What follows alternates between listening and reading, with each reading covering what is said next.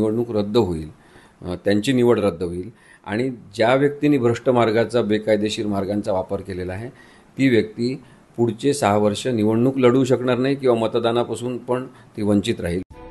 लोकसभा निवडणूक निकालानंतर सर्वात वादग्रस्त ठरलेला मतदारसंघ म्हणजे मुंबईतील उत्तर पश्चिम मतदारसंघ येथील मतदारसंघात शिवसेना विरुद्ध शिवसेना असा सामना झाला.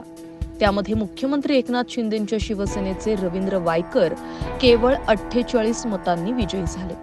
त्यामुळे मतमोजणीवरून अनेक प्रश्न उपस्थित केले जात आहेत. आता उत्तर पश्चिम लोकसभा मतदारसंघातील रवींद्र वायकर विरुद्ध अमोल कीर्तीकर यांच्या निवडणूक लढाईचा वाद उच्च न्यायालयात पोहोचलाय मुंबई उत्तर पश्चिम मतदारसंघातून निवडणूक लढवणाऱ्यातील एक उमेदवार भरत खिमजी शहा यांनी या संदर्भात मुंबई उच्च न्यायालयात ॲडव्होकेट असीम सरोदे यांच्या मार्फत याचिका दाखल केली आहे. यात चार जून रोजी झालेल्या मतमोजणीवर सवाल उपस्थित करत त्याला स्थगिती द्यावी अशी मागणी केली आहे. याचिकेत केंद्रीय निवडणूक आयोगासह मुंबई उपनगर जिल्ह्याचे निवडणूक अधिकारी रवींद्र वायकर तसंच राज्याचे पोलीस महासंचालक यांनाही प्रतिवादी करण्यात आलं या मतमोजणीत सातत्यानं आघाडीवर असलेल्या अमोल कीर्तीकर यांना विजयी घोषित केल्यानंतर पोस्टल बॅलेटची पुनर्मोजणी करण्याची मागणी रवींद्र वायकर यांच्या मार्फत करण्यात आली.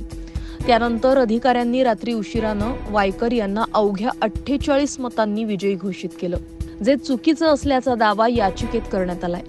याशिवाय याचिकेतून निवडणूक अधिकारी कार्यालयात तात्पुरत्या सेवेत असलेल्या दिनेश गुरव या व्यक्तीचा मोबाईल फोन प्राजक्ता वायकर महाले आणि नंतर मंगेश पांडिलकर यांनी मतमोजणीच्या वेळी वापरण्यावरही आक्षेप घेतलाय. निवडणूक अधिकारी कार्यालयात दिनेश गुरव या व्यक्तीची तात्पुरती झालेली नेमणूक योग्य आहे का?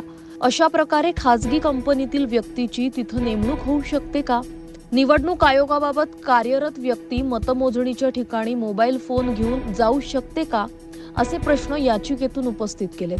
याशिवाय पोलिसांनी तिथं केवळ बघ्याची भूमिका घेतल्याचा आरोपही या याचिकेतून करण्यात आलाय.